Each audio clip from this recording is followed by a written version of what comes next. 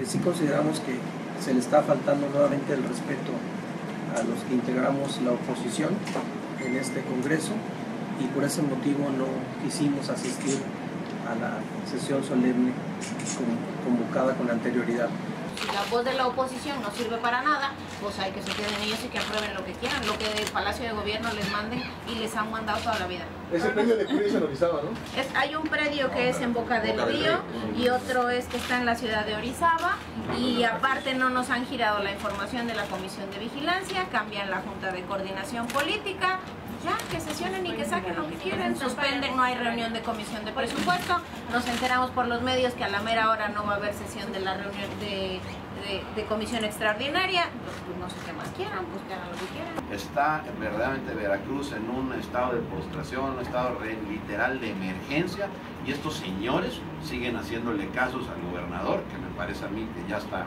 fuera de sí, porque ahora el entregar predios al dueño de una corporación deportiva pues no tiene ninguna razón de ser. Tan grave está la cosa que ni siquiera sabemos qué hay. Nos enteramos que vino el auditor porque, porque avisaron a los medios y alguien lo transmitió por Periscope. No fuimos convocados.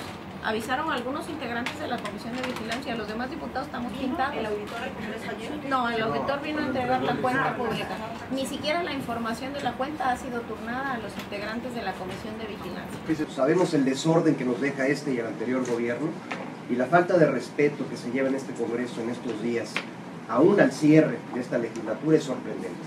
Ayer mismo, todos los diputados que están el día de hoy en la permanente, en la sesión solemne, coincidían con nosotros, coincidían en que había mucho desorden, de que había mucha opacidad y siquiera sabemos de cuánto es el daño patrimonial.